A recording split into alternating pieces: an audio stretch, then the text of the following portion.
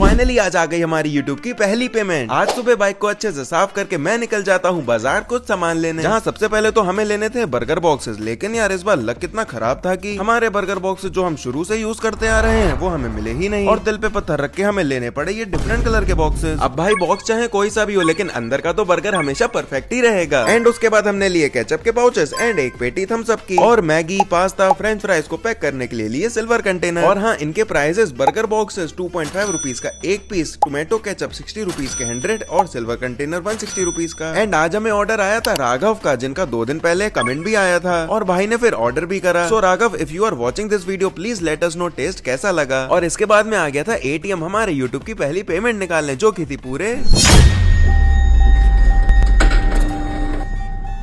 चलो आप लोग कमेंट में बताओ एंड सही जवाब को मैं लाइक कर दूँगा।